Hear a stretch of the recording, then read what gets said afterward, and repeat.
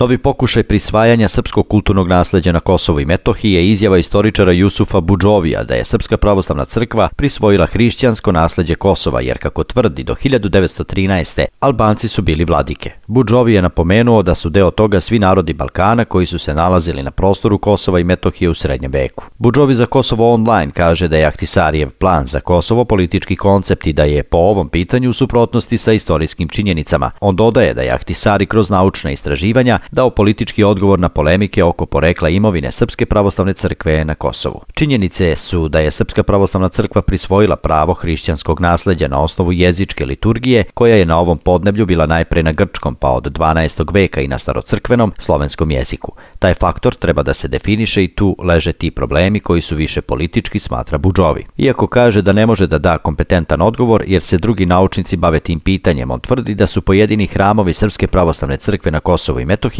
izgrađeni na temeljima katoličkih crkava uz napomenu da upravo to potvrđuje teoriju o prisvajanju tekovine zajedničkog hrišćanstva. Što se tiče Dečana, u srednjem veku je to bio i hram Albanaca, jer istorijski veći deo Albanaca ovog podneblja bili su pravoslavne vere i nije nikakvo čudo da su vladike tih crkava sve do 1913. godine bili Albanci, i to čuvene familije. Zašto bi oni čuvali te crkve kada ne bi verovali u njih? Što se tiče istorijskih argumenata, mogu se naći i u srpskoj historiografiji podaci da je bilo mnogo Albanaca koji su bili deo pravoslavne crkve, objašnjava Budžovi. On navodi da je Ahtisarijev plan politički koncept koji je u suprotnosti sa kulturnim i istorijskim činjenicama, dodajući da nije protiv statuta Srpske pravoslavne crkve, koji treba da bude pod ingerencijom Prištine. Ahtisarijev dokument je regulisao neke pozicije koje nisu adekvatne kulturnoj i istorijskoj realnosti.